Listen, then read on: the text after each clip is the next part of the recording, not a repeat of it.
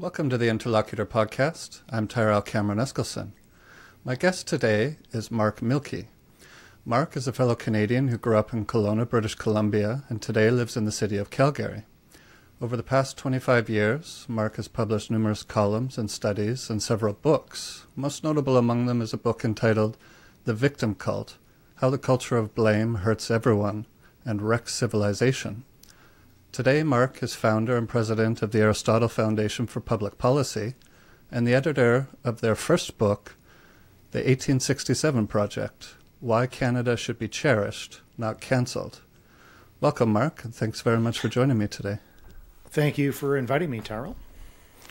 Right, so, when I was a teenager, when I was 19 years old, my friends and I, we went backpacking in Asia and Australia. And when we all arrived at the Saskatoon airport to depart, we all had these Canadian flags sewn onto our backpacks. And we had all done this independently of, of one another. And I think we had this sense that if we, we had the sense that Canadians were decent or good people, and that if we advertised this fact, that we would be treated well in the world. And I'm wondering if you grew up with a, a similar sense of what it meant to be Canadian.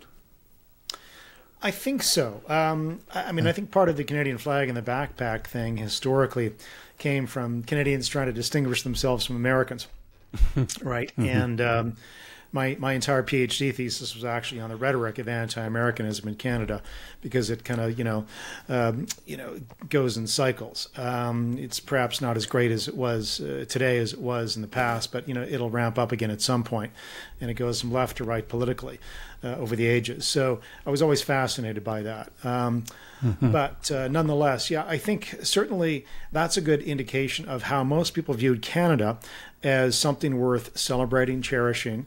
Um, again, the anti-American sometimes element of that aside, or the or the, the potential snootiness of that aside, right? When we traveled around the world. Uh, when I was actually in Japan, um, I remember uh, there was another fellow that was in Japan who's the author that once wrote a book about Japan. Um, I think his name is Will somebody, and I remember him in the book saying, "Yeah, Canadians think they're polite and nice, but only compared to Americans, right? So we were just as boisterous, you know, vis-a-vis the rest of the world." Anyway, um, that aside, yes, I think what your story says is that people used to, in the main, think Canada was a good place, worth celebrating, worth cherishing. That has changed. Mm-hmm. Uh, you had grandparents that came from the Ukraine and from Poland, and they settled on the prairies. And I also read an interesting story that you had a an ancestor who fought in the American Civil War and eventually came up to Saskatchewan and, and settled there. Uh, I guess uh, first of all, with with that ancestor, where do you know where he settled in in Saskatchewan? I guess it wouldn't have been Saskatchewan at that time, would well, it? Yeah, Northwest Territories before it became the province of Saskatchewan, right? Um, or maybe it was Saskatchewan. So it's actually my grandfather. So yeah, I had a great mm. or great grandfather who fought on the side of the North in the U.S. Civil War. Apparently, he came from Prussia originally. And mm-hmm. um, at some point, though, his son or grandson, and I forget again whether the, the person in the picture was my great grandfather or, or great great grandfather. One loses track of these things. But my grandfather um, did move up to Saskatchewan from Wisconsin, I believe, in the early 1900s. And so, depending on when he moved up there, and I should know the date, but I don't, Saskatchewan was either a province by 1905, um, or if he'd moved up uh, before then, he it wasn't. It was the Northwest Territories. But that's how one part of the family came to Canada on, and that was on my mom's side. On my dad's mm-hmm. side, basically, my grandmother on that side came from Ukraine as a German living in Ukraine um, by 1927. Uh, and my grandfather came from Poland. He was a German living in Poland, came over in 1928 to Canada, settled in Edmonton. And there's a long story there, which I tell in a previous book. They both mm-hmm. basically came for opportunity. They had relatives in Edmonton, said, come over here. And so they escaped the worst of the 1930s, of course, in Europe, thankfully. Hmm. And, uh, but yeah, that's the family history. But people came here back then thinking Canada was the land of opportunity. And I think for the most part it still is. But what's changed, and this is why we wrote the 1867 project, myself and 19 other authors associated with the Aristotle Foundation. We wrote the 1867 project, Why Canada Should Be Cherished, Not Cancelled, precisely because in some quarters, and I don't think it's the majority, but it's certainly allowed um, portion of the population, now sees Canada as what genocidal. Um, they see it as uh, something not to be celebrated. They see it as institutionally racist. These are all cliches, I think, um, and, and, frankly, you know, ones we try and debunk in the book. Um, but that's why we wrote the 1867 project, because we were in large measure concerned about the treatment of people in history, which also says something about how you value Canada now. So, mm-hmm. um, so for example, and I, I think the core problem in this view that somehow Canada is, you know, not worth celebrating is that well, if you go back to say John A. Macdonald, right, who's often criticized these days or canceled, right, his statues are taken down and so forth. Well, if you say John A. Macdonald shouldn't be cherished, or somehow you make the accusation that native policy of the day was genocidal, which is, um, uh, you know, hyperbole, and I disagree with it, and so does an author in the book, Greg Piasecki. If you mm-hmm. say John A. Macdonald and his policies towards uh, Native Canadians of the day were genocidal, despite the fact that he fought with an opposition to get more funding for famine relief, despite the fact that he fought with the opposition to get more funding for smallpox vaccination among Native Canadians of the day, you know, those who we call Indigenous now. If you say it was genocidal because of residential schools, despite the fact that actually treaties required residential schools, and some uh, First Nations leaders demanded residential schools. If you admit all that context and try and call John A. Macdonald genocidal, you're engaging in word inflation in addition to revisionist history. And the problem with that is if everything's genocidal, then in fact nothing is, right? Um, so uh, you actually downgrade the importance of the Ukraine genocide under Stalin, or certainly, of course, the Holocaust. So part of the reason we set out to write the 1867 project, uh, this book on Canada and her history, was to try and add some nuance back into the record, to add facts, and to make people think about these sorts of accusations. Because in essence they don't allow you to celebrate canada historically or now of course. I mean if we're just no better than nazi germany or the soviet union um, which did engage in genocide um, in ukraine if that's or mm-hmm. cambodia under the khmer rouge if that's all canada is then certainly we can't celebrate it or cherish it. But our argument obviously is very different in the book that you know we should look at history different um, and actually be more informed about history through uh, in the book and in your past uh, appearances speaking in places, you've talked about the word and concept utopian.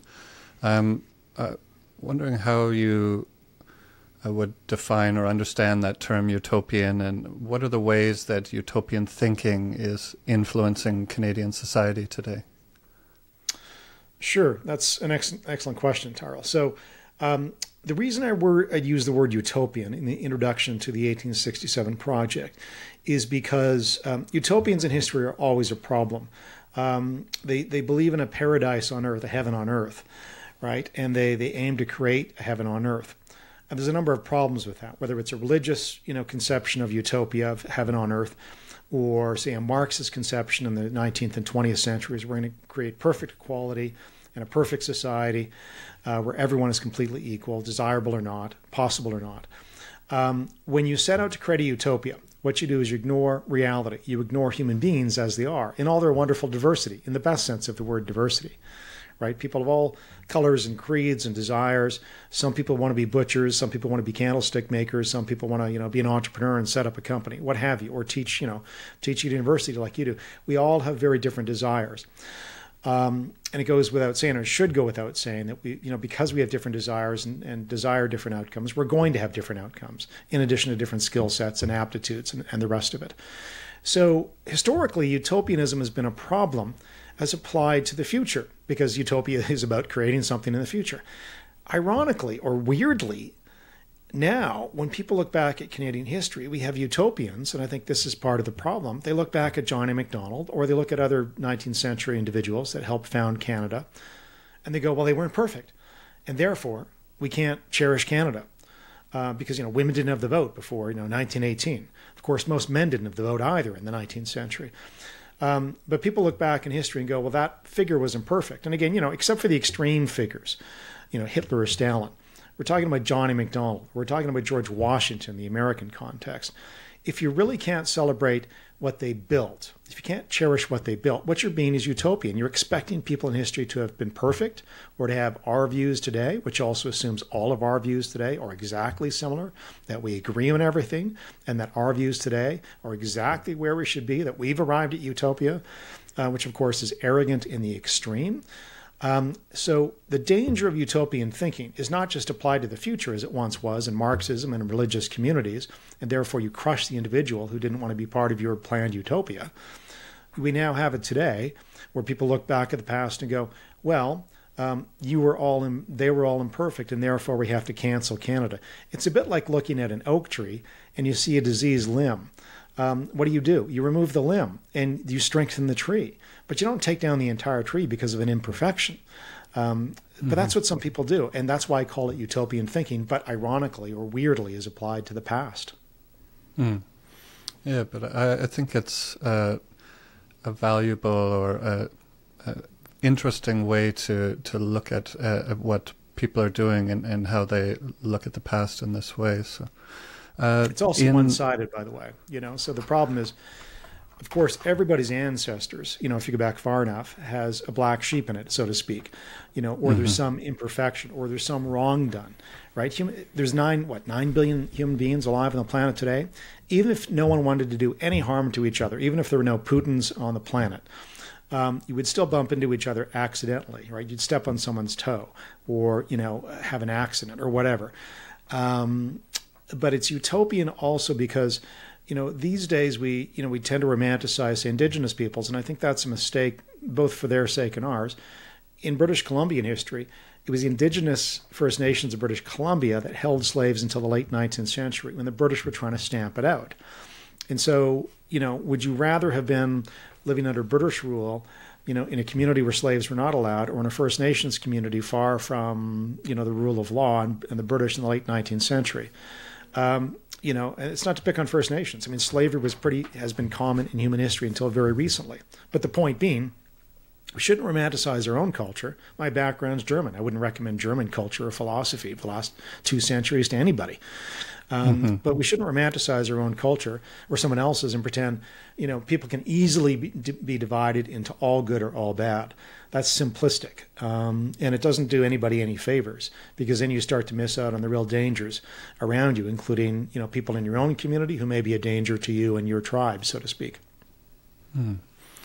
Uh, picking up uh, on the theme of slavery, uh, if you could expand a little bit more on why it's important to study slavery as a subject mm. of human history and what this can add to how we think about it. Where uh, I'm thinking in the context, were white Europeans the the first main proponents of slavery throughout human history, and uh, because I, I think nowadays I get the impression that if we were to ask the average person uh, what they associate slavery with, they might come up with an answer like that. But if we look at slavery in in in the as a phenomenon of human history, uh, a different picture emerges from from that uh, much longer view. Indeed. Uh, and one of the authors in the 1867 project, Marjorie Gann, who's mm-hmm. a retired school teacher, has written a couple of books on slavery, um, has a great chapter pointing out um, that slavery was unfortunately almost ubiquitous in most human societies in history. Now, why does this matter? Because again, it speaks to the need to not romanticize, say, one culture over another. Because the more interesting question is not, you know, were most societies full of slaveholders because they were. The interesting question is how and why did it stop? And of course, it came out of a certain conception of the individual that developed in Western societies namely the Christian conception of the individual. And you see this in the rhetoric, not the rhetoric, the scriptures, for example. Jesus talks about give to God what is God, Caesar what is Caesar. There's a divide right there between the state and the person. Martin Luther, you know, standing up against the Catholic Church, um, saying, "Here I stand, I could do no other," assuming, you know, his assumption, his theological assumption, was that he could stand before God and communicate directly with God. Now, you can be an atheist and not believe this. What what I'm pointing out, though, is that this conception developed the, the individual as an individual and were something in the sight of God. And abolitionists used those examples and much else. and scriptural you know support that that uh, they thought they had to help abolish slavery, but it did come out of that conception. Now, why does this matter? If you say today that yes, only Europeans held slaves, and therefore again let's cancel European history or something, um, or the, you know the Europeans were alone in that evil, it's it's naive. It's in fact anti-historical. It's anti-reality because that was not the case. I mean, you had slavery, you know, in the Arab world. You had slavery, um, you know, in East Asia in some cases, in China. Um, you had slavery, even most people don't know this, but I wrote about it in a previous book, The Victim Cult, which you referenced off the top. Um, there was actually a slave trade in white Europeans by Arab slave traders between about 1500, maybe before 1500, lasting until the late 1700s. Um, and about 1 million Europeans were captured as far north as, as England, actually, the coast of England.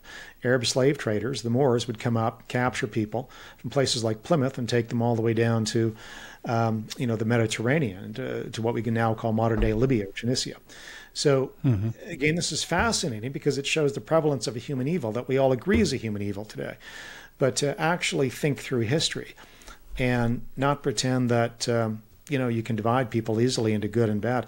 Alexander Solzhenitsyn, the, the Soviet, Soviet dissident, once said, um, based on his experience in uh, the labor camps in Siberia, that um, he met people who said, you know, someone else is the problem, and if only we can eliminate that person or their their tribe, then all will be well.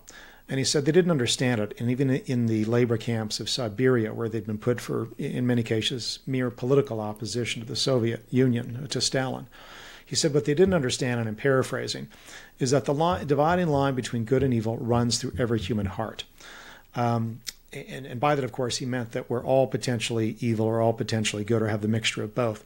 And that realization then allows you to create a civilization, create a society based on uh, not giving one person all the power, right? Lord Acton's phrase, power corrupts, absolute power corrupts absolutely. The American founders understood this. The English understood this, which is why, with the Magna Carta going back to 1215, they basically prevented the king from stealing their property. Um, there had to be a process for taking property. These things matter in human history. They matter to Canada now. Again, we wrote the 1867 project to say these developments, the rights of the individual, the rule of law, you can call them European or, or attribute skin color to them. But you know the fact that they developed in England or in some cases Europe, these you know these uh, Enlightenment concepts, especially in the case of Europe, has nothing to do with skin color. They just happen to be great ideas. And so today in Canada, what we need to do is reunite people around laudable ideas instead of dividing around identities, which is a very prevalent phenomenon, as you know, in Canada and in other parts of uh, the Western world these days, at least in the Anglosphere. Mm-hmm. Uh, this this book that we're talking about, the 1867 project, uh, it the name reminds me of the 1619 project. Is is that title in any way a response to to the 1619 project and uh, let me tie into that question mm. something that I read from chapter one of of the the 1867 project. Uh, I just need to find it here. It it had to do with the terms critical theory, critical race theory, mm. critical social justice, and I, I was wondering if, uh, in your opinion, if we need to distinguish these kinds of terms from a term like critical thinking, because it seems like it could be related to the term critical thinking, but do we need to distinguish right. those terms? So, a two part question. On the terms that start there, yes, I think we do. Uh, Bruce Pardy, who's a professor of law at Queen's University in Toronto, starts off the 1867 project by describing critical theory and some of these other theories. Um, which you know he basically, argues are you know philosophical intellectual cul-de-sac. Um, but that you know call into question whether there's any objective reality, um, and so the problem is you know they're they're tear down theories you could say, and, and again attribute much evil to identities, uh, you know European or skin color or, or therefore and so on, you know and are anti-capitalist and in essence anti-Western civilization to boot. Um, so um, certainly critical thinking needs to be distinguished. You know, in critical theory, I mean, it's it's about power.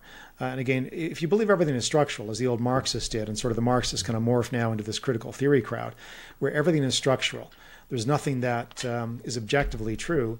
Uh, and that capitalism or the West or these individual freedoms we've talked about all derive from sort of top down imposition. And they're not organic or there's nothing real about the rights of men and women. Um, or nothing, you know, and you can create your own society by the top down. Well, then um, then you have to seek power, and you have to crush those who object to your your your program, just like the old Marxists did, right? Uh, to make your program successful. So Bruce Pardy goes into that in the first chapter of the Victim Cult, and it's not like critical thinking because if you have to crush everyone below you as a critical theorist, or cancel people because because of their association, their identity, and so on and so forth. You're not engaging in critical thinking. You're saying, I have found the truth, I have found nirvana, I have found utopia, I have found the perfect ethic to live by, and all of you must follow without question. That's not critical thinking. So, on that question, yes, we need to distinguish between what's called critical theory in the universities and elsewhere and critical thinking, which uh, really should be shored up these days. And it's one of the reasons we founded the Aristotle Foundation on the question of the 1619 project, I was aware of it, and, um, and of course, its claim basically is that uh, the real founding of uh, uh of America was 1619, and uh, you know was not 1776, and that again, uh, like the arguments in Canada, the United States is fundamentally uh, illegitimate because of the slaveholding and the rest. Um, I, I must confess, I didn't come up with the title, the 1867 Project a friend of mine did. And She actually, when when I was discussing with various people setting up the Aristotle Foundation for Public Policy here in Canada, um, my friend suggested something. You know, she said, why, "Why not call it the 1867 Project? Because you're being, you know, talking about history in part." And he said, "Great idea, but not for the foundation, not for a think tank." Um, I said it's too limiting, right? And I, I did want to call it after Aristotle because of you know the origin of democracies, uh, of democracy, at least in the West you know the debates about democracy and also what what does a good life mean. Um, you know that that were there in ancient Greece with Aristotle and other philosophers. I wanted to name it after Aristotle, but I, I said to her, I said, "Thanks for the idea. I'm going to steal a little a little bit and uh, name it. You know, put it put it on the uh, the cover of, of our first book." in part because I think it, it, it's better suited to a book title, right, where we're discussing the origins of Canada and what kind of Canada do we want today. Um, you know, and the project part of it, of course, really, it's it's like again this oak tree example I mentioned to you earlier. Uh, you know, you, you don't you don't get an oak tree by uh, you know by wish fulfillment. You get it by watering it, by you know giving it nourishment, by giving it water, by giving it sunshine. It's kind of like a country. You know, a country to really thrive, at least one worth defending, one worth preserving, is one that grows from the seed of good ideas. And then you nourish those ideas. And then you give it water. You give it sunshine, which is actually debate. You know, should we give women the vote? Should we not give women the vote? I mean, that debate went on. But that occurred because we had the right to free expression. Uh, should minorities be given equal rights of, as individuals? Of course they should. But that was a debate that had to happen. And it happened because of free expression. So you need, and sunshine, like for an oak tree that allows it to grow, uh, in a country, free expression is like sunshine. You can't grow, you can't reform without free expression. Unless we're all so brilliant and all happen to agree as 40 million Canadians that we know exactly what we want right now and there should be no debate. But that's silly, and of course, it's not realistic. So, yeah, the project part of the 1867 project comes from this notion that, of course, Canada is an ongoing project. It wasn't perfect in 1867, nor in 1920, nor in 1945 after the war, but a lot of people died in that war and elsewhere, um, you know, and, and throughout our history, sacrificed blood and treasure and hard work to make Canada worth something. And it is worth something. And so the 1867 project is a call to people to modesty, to value what we have, because a lot of people sacrifice to get what you and I grew up with, you know, Tyrel, um, to get us to where we are. And uh, it will never be perfect. I don't believe in utopias, but it is worth something, worth a lot, and that's the part of the subtitle. You know why Canada should be cherished, not canceled. Mm-hmm. That's well said. Thank you. Uh, one of the chapters that I really enjoyed from the book was one written by Matthew Lau, mm. who, as I understand it, is a, a journalist in Canada. And financial analyst. Plus, he does columns fi- in the Financial Post. Yeah, but his his, right, his, his, his, day yeah. job is a financial analyst in Toronto. I see. Okay. Uh, he he wrote about um, well, one of the questions that I formulated that I wanted to ask you based on, on reading his piece was uh, differentiating between the concepts uh, institutionally racist society and a society where some people happen to be racist or some people are racist. Uh, is Canada a, an institutionally racist society? Should we think of it in that way? It's yeah, it's a question that, of course, yeah, as you, as you point out, Matthew addresses in the 1867 project. And right. I'd ask Matthew Lauda to what I'd call a Thomas Sowell type analysis on this question. Thomas Sowell being the famous American economist who now is 93, but has spent about 50, 60 years delving into this question in the American context, right? How much does racism affect economic outcomes and other outcomes? Or does it? And, um, you know, the short answer that Sowell would give, if, if I can paraphrase, is that you know racism has existed in American history, obviously, including institutional racism, um, but it's not been as determinative as you would think. So even before the civil rights reforms of the 1960s, Black Americans were progressing. They were getting, you know, higher education. Um, they were coming out of poverty at greater rates. Um, even before discrimination stopped, which means other factors matter to outcomes, not just racism. So the question today and this is what Matthew examined in the Canadian context. And the question to, to examine the question today is Canada systemically or institutionally racist? To, to which a lot of people say yes, and I, I, I think unthinkingly so. Um, they're not distinguishing between actual systemic institutional racism and you know an individual bigot that you can meet out there. The difference is quite clear. 100 years ago in San Francisco, if you were Chinese, which is you know Matt Lau's ancestry, you know, in, but you know from Canada now, obviously, um, but 100 years ago, if you were Chinese in San Francisco, you were not allowed into white hospitals. If you were Jewish in the 1920s, 1930s, 1940s, there were limits on your participation at Ivy League universities in Canada and probably the uh, in the U.S. and probably Canada, I would think, places like McGill.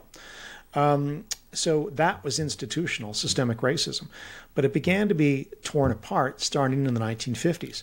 Ontario, for example, started to pass laws against discrimination based on gender, based on color, in the early 1950s. 1950s. You could no longer, after 1951, 1952, depending on the legislation, tell someone who's black or tell someone who's a woman, you can't stay at this hotel. You could before. That was systemic institutional racism. An actual institution could discriminate against you. So it's important to make that distinction because if you don't, then you see a difference in outcomes today, and you, you, you still think somehow there's this massive hidden racism out there, which is the accusation. When people don't define stuff and they're sloppy, then you get sloppy thinking. And a good, a good example is, again, Indigenous incomes in Canada. Um, indigenous incomes, on average, are lower than other Canadians. Is that due to systemic racism? There may be some, you know, racism. There certainly is some personal racism out there still. I would, I would, I would garner. I would say, look in the internet, you can find it.